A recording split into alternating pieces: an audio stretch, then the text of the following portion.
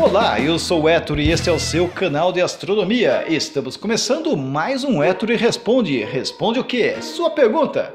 Primeira pergunta. Júnior Souza quer saber por que a Lua, por ser o satélite natural mais próximo do Sol, orbita a Terra e não o Sol. Tudo bem, Júnior Souza? Se formos calcular a força gravitacional que o Sol exerce na Lua, encontramos algo como 4,4 vezes 10 elevado a 20 newtons, enquanto que a força gravitacional que a Terra exerce sobre a Lua é de 2 vezes 10 elevado a 20 newtons. Ou seja, a força gravitacional entre o Sol e a Lua é maior. Então por que o Sol não encara a Lua e diz, vem pra cá minha Lua? Porque a Terra e a Lua se comportam como se fosse um só sistema. Como se o Sol não soubesse que existem dois objetos. Na verdade, o Sol está atraindo o centro de massa do sistema Terra-Lua. Mas se a Lua começar a se separar da Terra, chegando a uma distância que o sistema Terra-Lua deixasse de existir, e a Lua passaria a orbitar o Sol, e não a Terra, ou ainda, se o sistema Terra-Lua estivesse muito próximo do Sol, a Lua seria arrancada da força gravitacional da Terra, e seria livre e desimpedida. E qual seria a distância máxima que a Lua teria que distanciar da Terra para orbitar apenas o Sol? 1,5 milhão de quilômetros, que é o raio da esfera de Hill. É nessa distância que fica também o ponto Lagrange L2, onde será posicionado o maior telescópio espacial em desenvolvimento chamado James Webb. Tem um vídeo sobre o James Webb e estou fazendo outro, posto em breve. Como a Lua está distante da Terra em média 380.400 km, está confortavelmente dentro da esfera de Hill e orbita, portanto, a Terra, só Terra, nada mais além da Terra.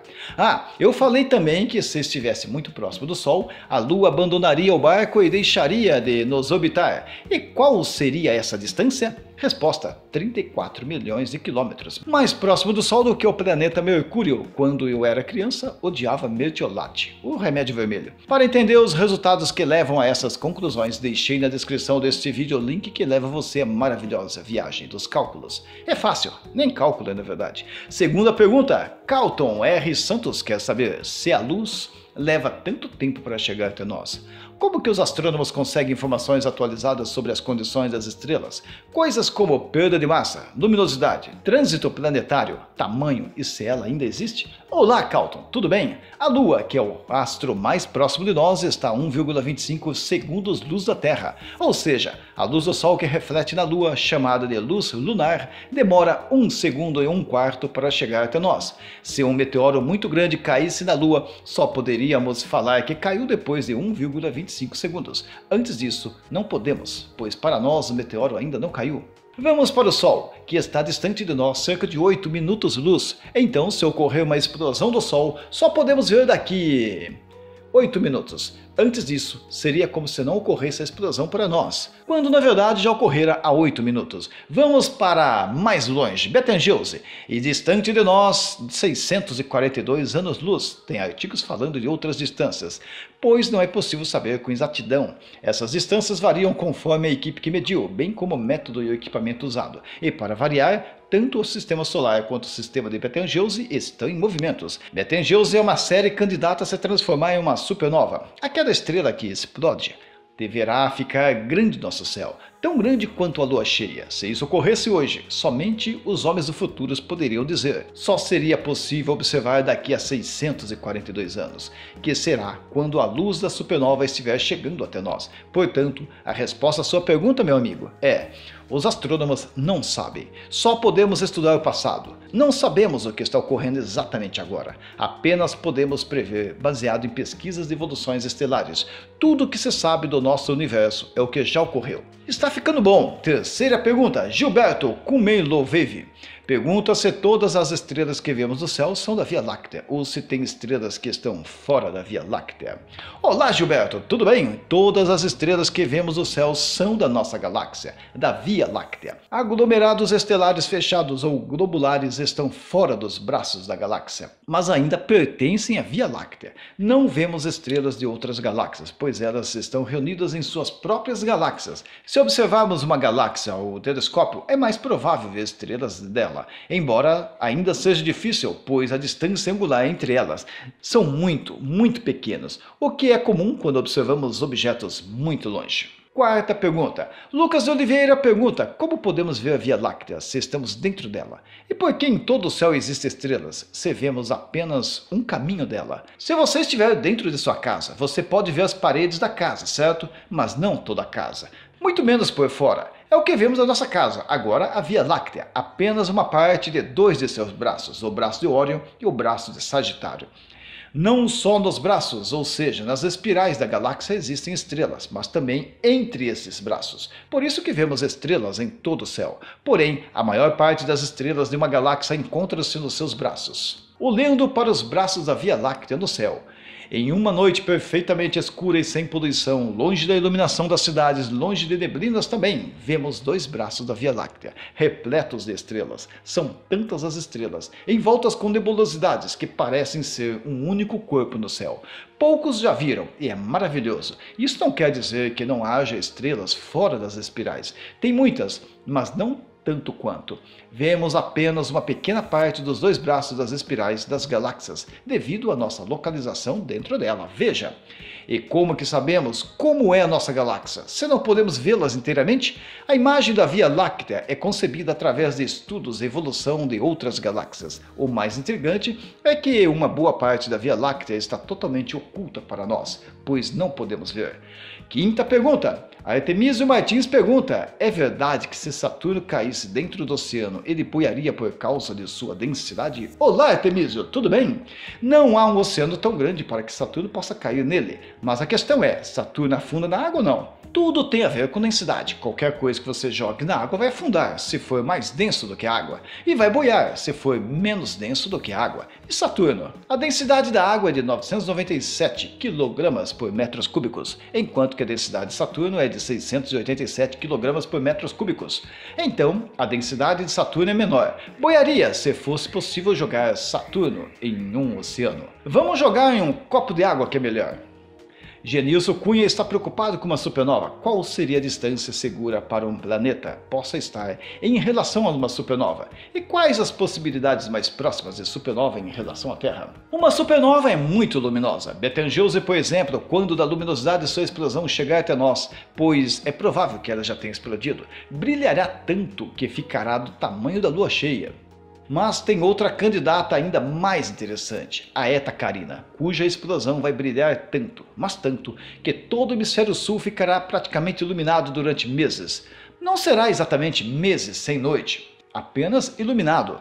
Mas qual seria o efeito causador na Terra? A luz é quantizada em fótons, então não há perigo quanto à luminosidade, mas temos os raios cósmicos, em especial os raios gama. Esses merecem um pouco de atenção. Eta Carina, por exemplo, poderia emitir raios gamas em direção à Terra, o que seria um caos, mas poderia, não pode. De acordo com estudos realizados pelos astrofísicos Brian, Adrian e Barbara, é improvável que o eixo de rotação de Eta Carina produza uma explosão de raios gamas orientado para a Terra.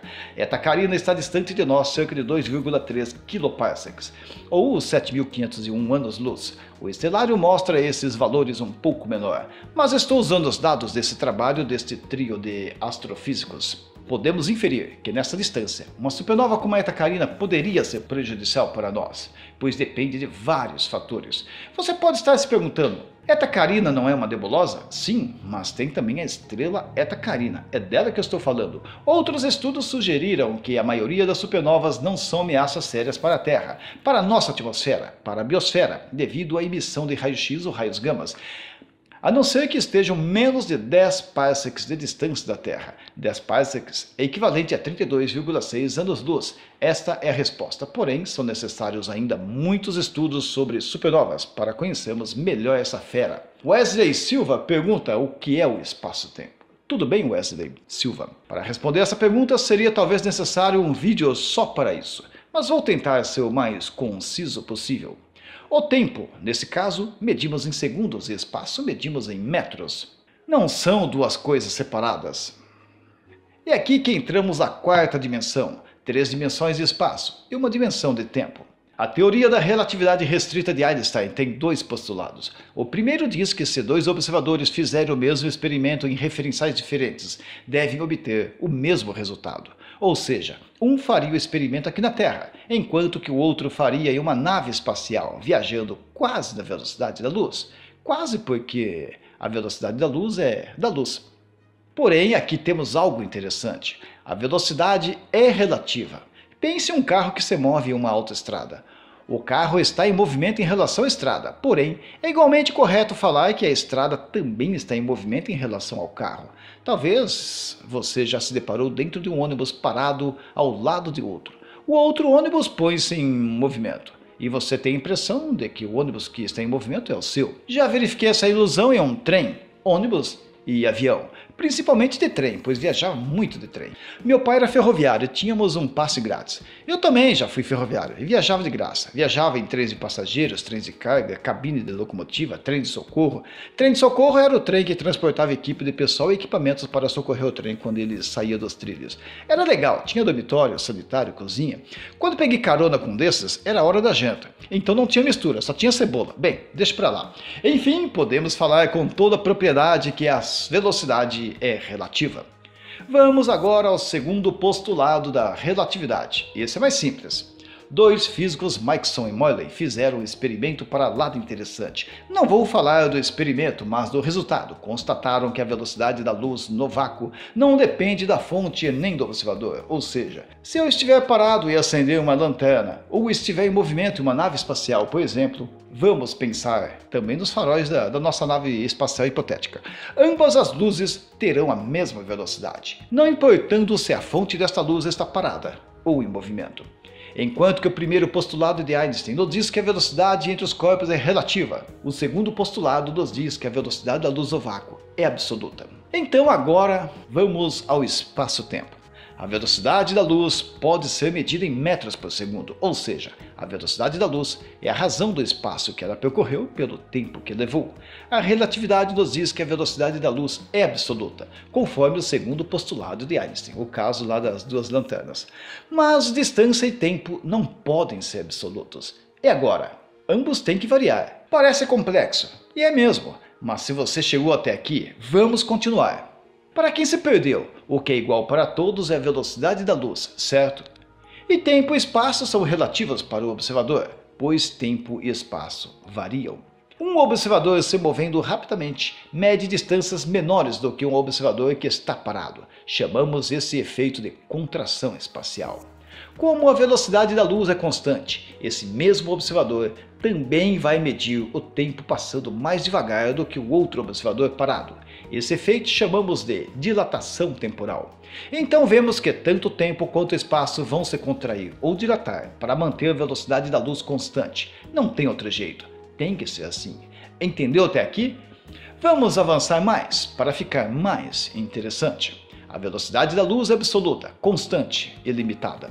Toda velocidade é a razão do espaço por tempo, Pense na velocidade do seu carro, 80 km por hora. Mas aqui vamos usar a velocidade da luz como uma medição de conversão para transformar tempo em espaço. Seria como medir tempo em metros.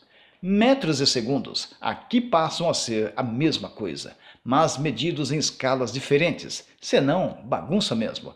Como isso é possível? Assim, a velocidade da luz no vácuo é igual a 299.792.458 metros por segundo.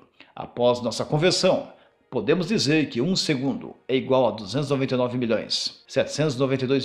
299.792.458 metros. Ué, você está bem na cabeça? Foi Wesley Silva que perguntou, só estou respondendo. O tempo se junta ao próprio espaço, se tornando uma só coisa no conceito de espaço-tempo. É exatamente isso que significa espaço-tempo. Se não entendeu, veja de novo, passei mastigado para você. Vamos à pergunta do ponto de astronomia. Estrelas binárias trocam massas entre si, mas elas podem se fundir algum dia? Olá, ponto de astronomia, tudo bem? Elas trocam de massa entre si, mas para isso é preciso que uma das estrelas se expande e se estiver se expandindo, é porque a estrela está evoluindo em sua fase, está envelhecendo. Conforme vai se expandindo, vai absorvendo massa da companheira. Poderá absorver toda a massa da companheira, sim, se fundindo. Porém, não viverá por muito tempo. Se está se expandindo e absorvendo massa, vai explodir rapidamente. Visconde Hiragana quer saber o que são estrelas brancas. E por que elas são encontradas normalmente nos aglomerados globulares? Olá Visconde, tudo bem? Estrelas brancas são as estrelas do tipo A, com temperaturas em torno de 9000 Kelvin, mais quentes que o nosso Sol apresentam linhas espectrais de hidrogênio 1 muito forte. São mais massivas que o Sol, entre 1,5 a 3 massas solares, diferentemente das anãs brancas, que são restos de estrelas. Resto não, remanescente de estrelas. O futuro do Sol é virar uma anã branca, resto de estrela.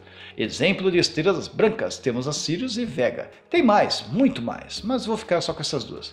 Temos dois tipos de aglomerados, os abertos e os fechados, que são também chamados de aglomerados globulares. A física nuclear estuda a variação do tempo de vida das estrelas, estimando suas idades, e assim admite-se que os aglomerados abertos, localizados no disco da galáxia, ao longo dos braços das espirais são mais jovens do que os aglomerados globulares que estão localizados no halo da galáxia, ou seja, longe dos braços das espirais.